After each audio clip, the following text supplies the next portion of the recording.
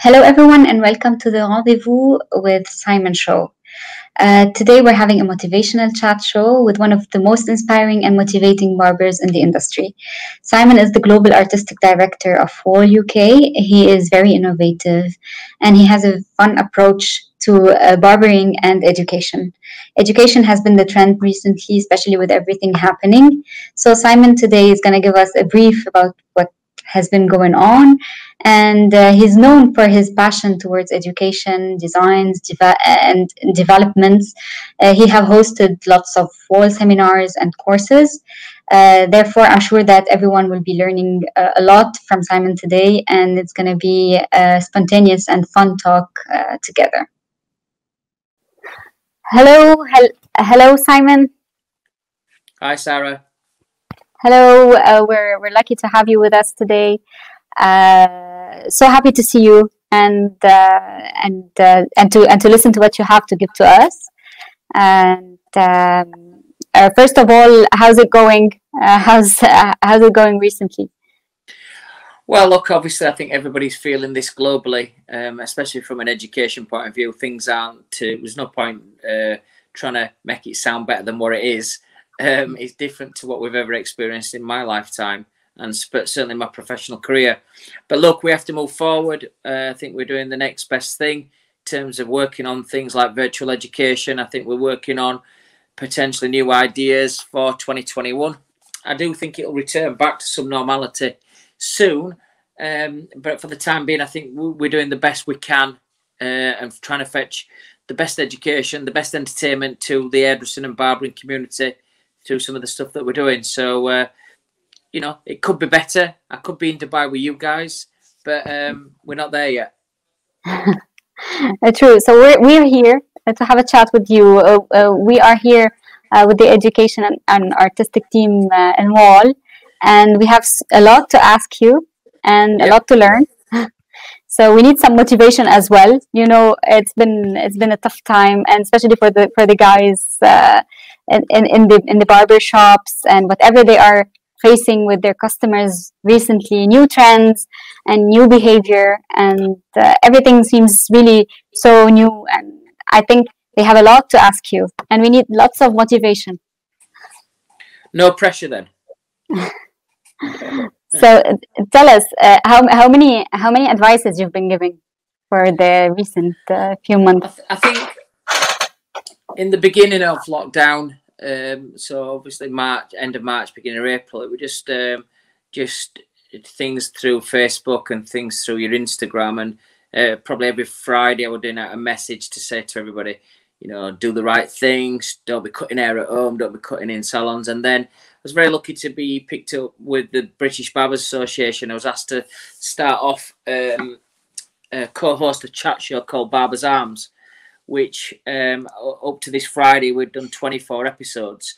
So um, in, in, a view of how many people we've reached, um, probably just short of 4 million views so far over lockdown. So every week we've had to give out the right info, uh, talking about sometimes legislations in different countries, where the governments are with different countries. Try and do that humorous, motivational, have some fun while we've been doing it, and also as well making sure that people have got a little bit of rope and um, giving them a little bit more of a, a, some some weeks it's been quite doom and gloom. And so you've got to try and pick out a little bit of light in that area. Um, there's no point saying look guys i've got no good news. We're all in the same boat together. Good good, good luck. Make the best man win. You've got to try and pick out little bits that sometimes people can grasp onto. Um, and, and, and i've just done that myself as well in personally. You know not traveling not being able to do the things that you would normally do, I've had to pick up the little bits that just keep me motivated and and keep me working and moving forward. Especially for with, with someone that is like you, you're so active and uh, and uh, you're everywhere. Yeah, I mean motivational, and you're everywhere. Uh, um, I think from from my point of view, you know, one of the things that uh, is important is that when you are everywhere and you are going out to meet people, one of the things that you miss. I mean, this this week in the UK, for the next three days, I'm doing a, a presentation for a big consumer group. That's normally done live in a big conference place. So this year I'm doing it in front of a camera in a studio. What you miss at that is when you come out of those theatres and studios, everybody's saying to you, "Oh, well done! That was the best show we've seen this year. That was so funny. It was so motivational." So almost like your ego has not been stroked for months and months, so it's addictive, and uh, you miss that fix as well. Um, did you find that with doing all the online when you was chatting online and doing the say the Barbers Arms episodes with the barbers asking you questions on even how to evolve at home through the different haircuts, uh, how they can train at home? Um, yeah, I think I think we've had a few of that. Dan, I think there's so much education out there. There's yeah. so many people being shown how to, to do a fade and to do this side of it. What we've tried to do this weekend is uh, Trevor's done a great job of putting a global presentation together. We've tried to come up with something a bit different. Even if some of the cuts you've seen before, it's the way it's packaged up. Yeah. And I think one of the things I've tried to do to everybody is to look, pick what's right for you. Don't don't go down this road. Don't put your all your eggs in that basket. And I think moving forward with education, I think there's been that much done now online. Yeah, that everybody true. before lockdown, everybody's now become a chat show host, an interviewer, yeah. a blogger, because um, that's all that's being done. But I think what will happen is the best will survive, and the others will just go back to what they were doing normally. Yeah, we want to be in right that position where we're around and we've survived it. Yeah, oh, you're right there. Um, during the lockdown, I had uh, friends, family calling me, asking me how to cut their own hair. Um, and a lot of what I was saying to people was to actually look at the different YouTube videos or even a lot of different channels. And some people were doing it good, some people were making a horrible mess. It was quite entertaining. Um, I think, you know, from my point of view, I've been surprised with some people. Some people's done some really good haircuts. Obviously, from our brand's point of view, we're all Wahl professional, but obviously, Wahl is a global company. We manufacture not only professional clippers, but consumer clippers, animal clippers. So we all know internally within the Wahl business how many clippers that we've sold over lockdown because people have become professional home cutters. Yeah. um, but I've been surprised with a lot of people how good a job they've done. If this had happened 10 years ago, you'd have seen some real disasters. Oh yeah. I think I there's that much it. tutorial online that people can easily access. Then I think as an industry we need to look at that to say, look, out of this, some barbers have been really busy when they've come back into the business, but some are feeling a bit of a lull. And I think yeah. the lull is that people are still doing themselves at home. Um, and I think that yeah. is where we need to fetch it back. So I think what we have to do is we have to regulate before you put a cut on to uh, any social media, just think about who's going to watch it. Think yeah. about what you're going to. If it's just about your ego, think about the industry because just an ego trip's great. But what are you selling? Are you getting clients into your business? Are you selling a brand, a product, a product? Are you selling? Do you just want views? But you've got to bear in mind that if your clients watch you do a cut at home and you're showing them how to do it, then they're going to use it. Yeah. Yourself out of business. So just be choosy what you put out online. In my in my view, anyway. Yeah. So what we found out. Like me and Ghassan. yeah. Uh, all right. Um, all right. Um, I heard you speaking about uh, new ideas and uh, motivations. Could you tell us briefly what keeps you motivated all the times, or what are the new ideas you'll be um, coming up so? I think there's nothing scientific sometimes about. that. I think a lot of people think sometimes that I spend lots of time on the creative ideas or coming up with real big ideas. I'm very lucky that sometimes I feel I, I work better under pressure. So when I'm under pressure, that's where within a 24 hour period, I can come up with an idea or a concept that looks like we've spent months planning it. And I've been very lucky that way. Uh, oh. That motivates me. I think the other part of motivation is the fear of losing, the fear of not doing it. So tonight, I will go into an hotel oh. tonight. I'll have my products in front of me that we're launching for the fourth quarter at Boots. And I know I've got 30 minutes live on camera Wednesday, Thursday in front of 700 people. So I will practice my presentation for the next 24 hours till I get it so it flows. And I think that's my difference is I've always had that real good uh, attitude to think, right, I've got to do this. I see so many people turn up to exhibitions, Ghassan, or a presentation, and you'll know this, Dan, is if you don't know your product, I always say this to any our presenters, Sarah, is if you don't know your product, I can see it one million miles away. I can walk yeah, in a room and sniff you out if you don't have that product as if it's like part of you it's like using your little finger. Um, yeah. And so one of the things that keeps me motivated is obviously the fear of not doing well, the fear of not being able to to do that, and uh, and then right. to keep me motivated is is knowing that you're putting the hard work in, which then really pays off when you do the end result. Right, right. That's great. And working in the Middle East here, do you think that you can give us a little bit of tips? Because what we are facing at the moment that people or clients in general being really picky with their um, demands or requests, being watching all the time how we are cleaning, disinfecting our clippers, the chairs, and sometimes sometimes they go a little bit too far and they ask something like, "Could you use for us a plastic cape or?"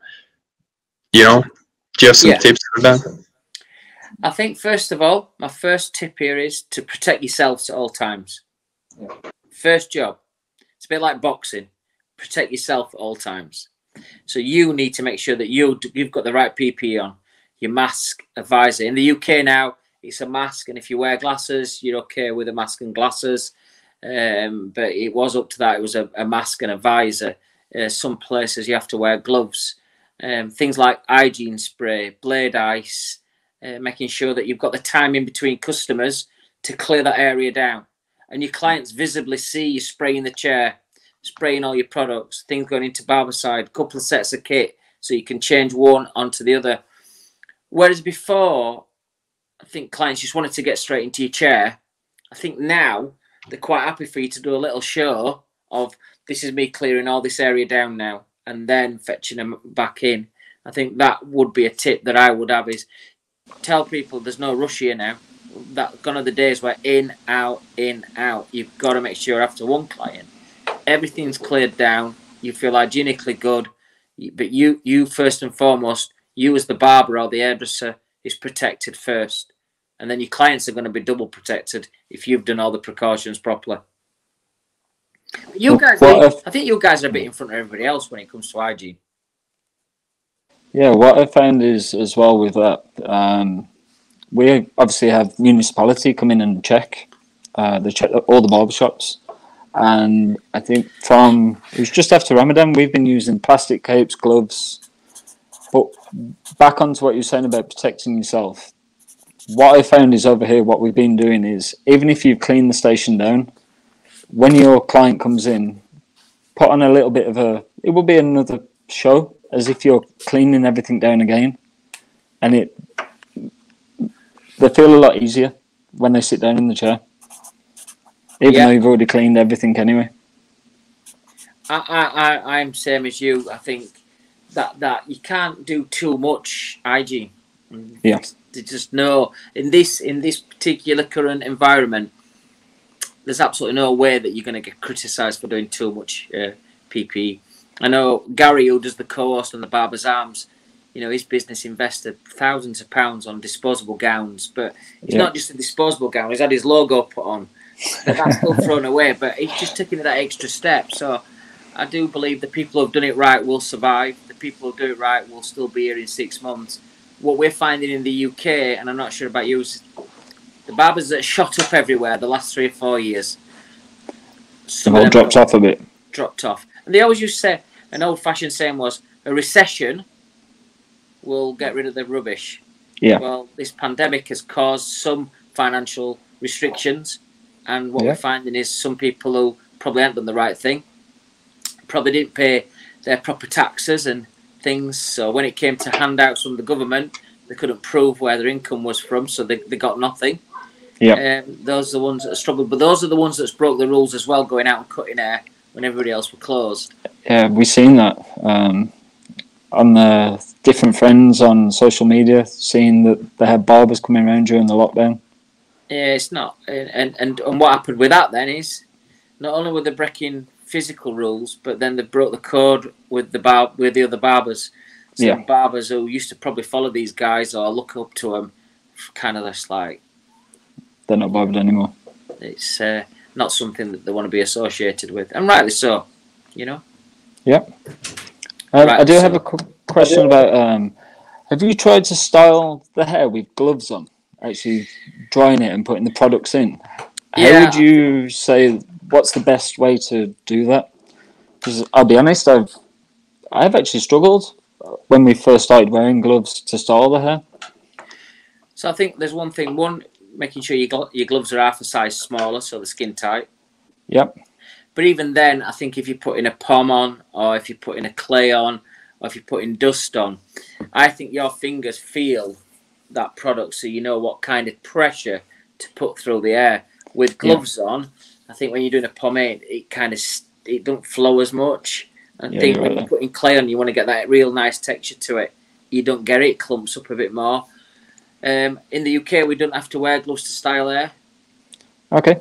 so we're still allowed to put as products through his hands and then you can feel it through the air um, but i don't think you're any different dan to everybody else um, I know. Yeah. I think more you do it more you'll get to know it but i think you're not on your own there where styling with gloves on has been difficult Yeah.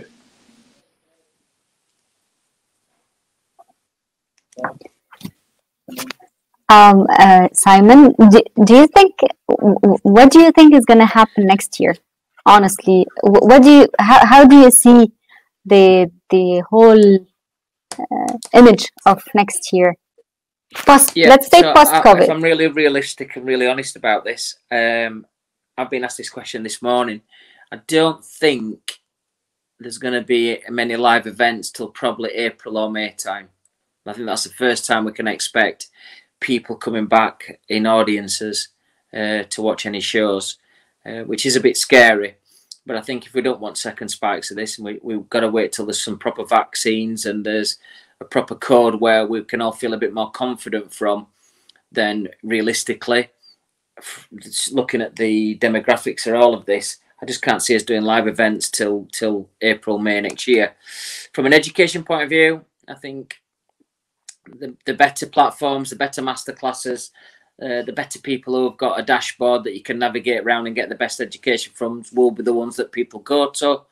Uh, we've still got great products being launched. Um, when we launch those products as well, we're going to have educators that are going to show you how to use them. So I think we're very lucky that we're going to be at the forefront of launching products which will allow us then to be the first barbers and hairdressers demonstrating them. Um, so that's going to keep us in front of everybody else. So that's how I see it. If I'm really honest, there's no good news. It's not like we're going to be back in January. Um, I think the first country that does it will be the bravest country to put an exhibition on or a show.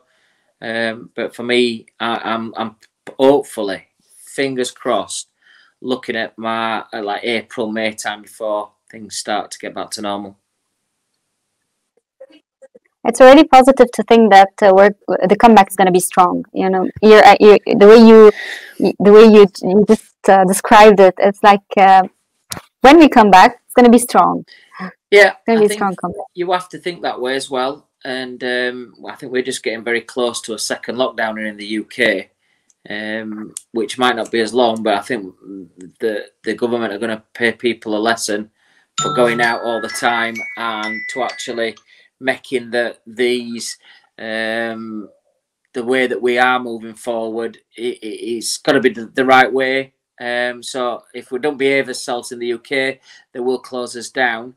But I think being positive for next year to say, look, we're looking at March, April, May time. So you've got to focus on that. You've got to get your head around that. So I'm that's something I'm really positive about and looking forward to. Yeah, you know, uh, we've noticed that uh, it's been easy, not easy, but a bit easier for professionals to deal with it. Like they they they took this opportunity to work on themselves, to work on education, to uh, you know, to get some time to learn something new. But what can we say to beginners, uh, like uh, the, the new beginners uh, for the for the moment, like getting this shock? Yeah, I think for the for the new beginners, it's difficult. What a difficult time to be have started your career in barbering uh, or hairdressing, and I think it's it's important to keep linked into. Um, to to kind of basically link into your whoever's providing your education. Hopefully, they're providing videos and they're providing things online for them to go do that, or you know, just just to, main thing is to hang in there. Is whatever information's given to you to do it. If you're asked to do assignments at home, do them to the best ability. Um, and I know it's not easy. And if all myself, Dan, Ghassan, yourself, if you're starting off in your careers and this had happened, it's like a big block there to start with. Um, none of us have ever gone through this, have we? None of us have ever gone through this in his lifetime. So you imagine starting your career off. All I'm going to say to everybody out there who started the career off is hang in. Because once you get through this and you get back to colleges, you get back to your barbershops, get back to your hairdressing salons, and you can start your training, this is an amazing industry to be in. So it'll be a little blip that you'll look back and think, in 10 years' time, oh, when I started my hairdressing or barbering career, we had COVID 19 and I couldn't train for, uh, you know, six months or 12 months. But wow, look at where I am now. And I think that's the way you've got to look at it. It's not the same for anybody. So you're all together. It's not like you've got it in Dubai and we've not got it here in the UK. And because we've not got it in the UK, they've not got it in China. It's globally everywhere. So everybody's been affected. So we're all in the same boat together. It's all about keeping this focused and making sure that your heart's still where it needs to be. And if you've got them two combinations, then you'll always be successful. You know, recently, recently, uh, all of us uh, uh, have become uh, barbers. I, I have become a barber uh, myself at home, for example. Uh, my mom also at home, she, she she she she was cutting my dad's hair, and we're we're all we, we are all following this road uh, right now but what what can happen after that if if everyone is doing it. Everyone is the barber right now. Hmm. yeah i think we've said it a bit earlier that i think there's there's uh, thousands of new barbers out there now that have yeah. never cut hair. But it's the same thing. Look at this. Well well restaurants have shut. Have you not been watching cooking programs and, and making your own Gordon Ramsay food and making your own Jamie Oliver food and becoming uh, almost like trainee chefs? So I think every industry that's glamorous, like barbering, like hairdressing, like cooking, uh, people have got a lot better at home at doing it. We're in a fortunate position where we manufacture products that help people to do that as well, as well as supporting the professional industry. Um, but yeah, there's so many barbers out there now, and and I've watched some people online. They even know how to hold the tension properly on the skin, and they're holding the clip. I'm thinking, have you had some training? And it's not. It's, it's they've watched so many people online that are actually doing it doing it right. And and and I can only relate this to watching cooking programs. Is that I've cooked stuff and I think I've just done it like they've done it, and it and it does give you a buzz. And uh, we went out for a meal on Friday night, and then yesterday, Sunday, we were going to go out for a meal and I ended up cooking at home. And it was as nice as if we went out for food. And that's, I try and relate this into barbering. So if somebody's cut somebody's hair, it's like, do you know what? It feels really good. You've made a really good job of that. Or people's lined the beards in and stuff. And I think it never takes it away from going out or having your hair cut by a professional. But sometimes I think people can do a bit more than what they were doing beforehand. Yeah. We call it wannabe. Yeah. Wannabe barbers out there. yeah. that's me. So if we if so we will if we if we will speak about one more thing, um, wearing masks all the time, it's became hectic for bearded guys. Yeah.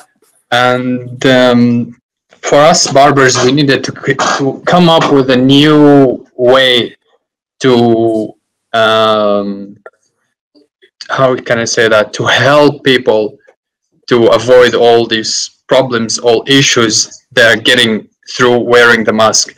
Is that the same thing happening yeah. back yeah. there where you're staying, or do you guys facing the same issue, or people just running for a full clean shave to avoid the having a beard? Like me myself, I'm wearing it, and I used to have a bigger beard than this, but since I used to wear the mask, I started getting a little bit of curve, and it used to be, and I started being a little bit hectic, especially with wearing the products, putting the oils, etc., etc., etc.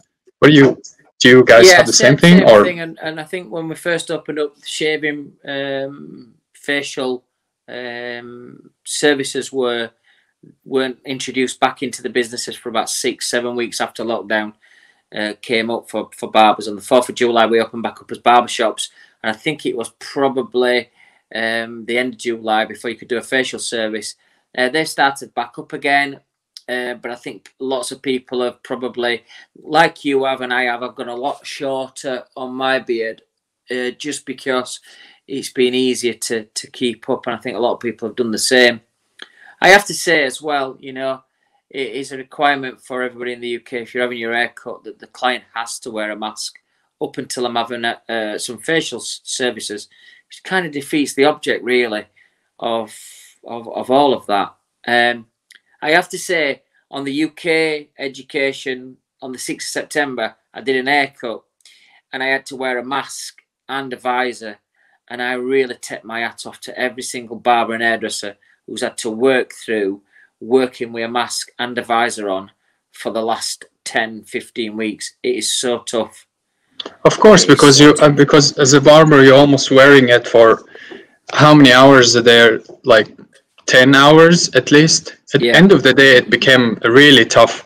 I remember one day going back home and honestly, hand and heart, me going back home, doing whatever I have to, wash my hands, whatever, chilling. And after like 15 minutes, touching my face, and I realized that, that the mask is still on, you know, even at home, I even forgot to remove it.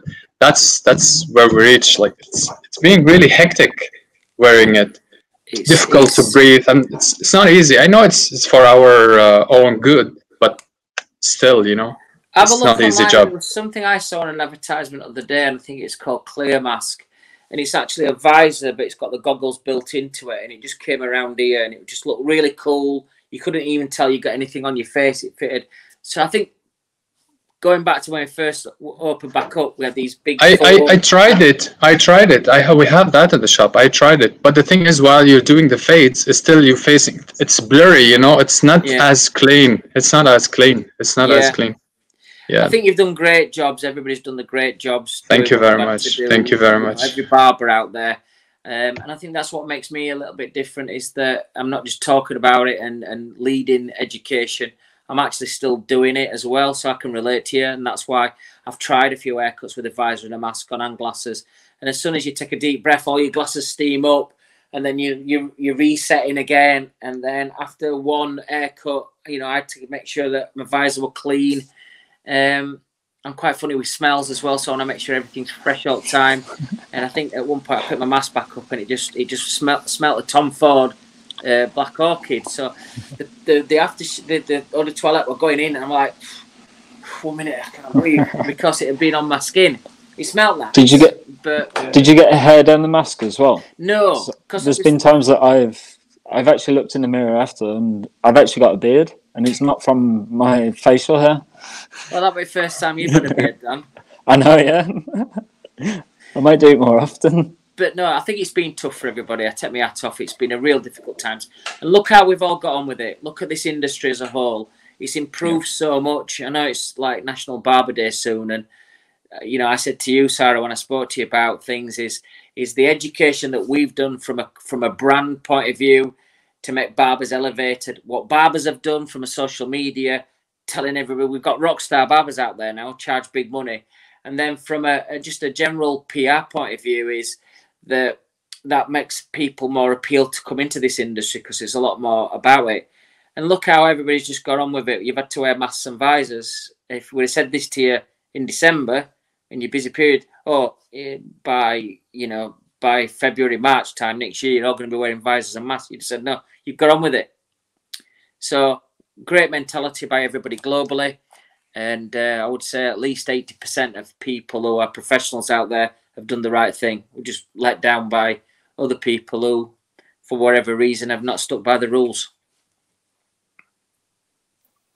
Okay, and the guys uh, over here, uh, Ghassan and Dan, uh, have been doing a good job in education. But uh, just to, and uh, we don't want to take longer uh, time with you. We know you have a lot uh, just we need a quick advice, uh, something motivational to to everyone, and especially regarding education because it's the, it is uh, the time for education right now. It is the time for online and learning and new stuff. What what do you promise uh, also? Well, we're working very hard. I just want to tell the guys, Ghassan and Dan as well. We're working very hard. Uh, Lance has just signed off a big project in the US for us to do something on on a real smart platform, a real good virtual platform that will stand out from everybody else's, where we can get barbers and hairdressers subscribing monthly to come into the dashboard and click and watch it. I think we've shown this weekend by putting a global event on with different barbers and hairdressers across the world over 24 hours. Trevor Studd's done an amazing job. And I think up to this morning, before I started my meetings, we'd had over 10,800 views over the weekend. Um, so over the week, you could see that easily increasing to probably 250,000 views trust me, when we get the education on a platform digitally, virtually, we'll do it better than everybody else. We'll be able to invite, because we're global, not local, we're going to be able to invite our global guests to get involved with that. And Dubai's no no different to that to do that. So I want to put a message out there is that you know it's one of my sayings, and it, probably I, have got out of saying it because I've not had any live audiences. But we are global, not local. That is our difference. We're 101 years into the making here at Wahl. We're going to keep moving forward. We've got some fantastic clippers coming out. We've got the best educators around the world that are going to be involved in whatever the next step is in education. But forget all that. I'm a live person. And so I'm going to push everything possible to get us back live, to get us back there safe in probably April, May next year. You know, and what a better place to kick that off than Beauty World in, in May in Dubai oh, it's a it's a dream now to hope that that comes off, and uh, you know we we can do something fantastic there. And uh, you know, Dubai's, you know, guys. Not only do I love working there, but it's my favourite uh, holiday destination as well. Um, so from that point of view, um, I always hold you guys in, in high esteem because I could come and live there. I love the I love the Dubai people. I love working with my colleagues out there, whether you're from Canuck or whether you're from Bahrain or whether you're from uh, wherever you, you know, I think everybody comes together. It's just a fantastic place to be involved with. Um, so we will be back. And when we come back, we're going to be better and stronger than what we were before. When we come back, we're going to have five, four, three, four new additions to new products. Fetch that with new educators, whatever happens in 2021, you can guarantee we're going to be at the spearhead of uh, what's going to happen in this industry. Perfect. Perfect. Great. Great. Do you guys have more questions? No, I think that's it. Thank you for um, speaking with us today. It's a pleasure, guys. I wish I was there all week, and I wish I could go to the Carlton Ritz for brunch on Friday and sit down and have a few beers with you all and have a chat with you. But I'm sure that that's going to happen. Thank you very much. We all keep positive, and uh, I look forward yeah, to. Well. Uh, I look. We are. We are. Look forward to seeing you all very soon. Yeah. We, we look forward. Yeah. We, we look, forward, to seeing you too. We look forward. Adios, amigos. Thank you. Simon. Same to you. Look after everybody. Look after yourself. See you soon. Bye bye.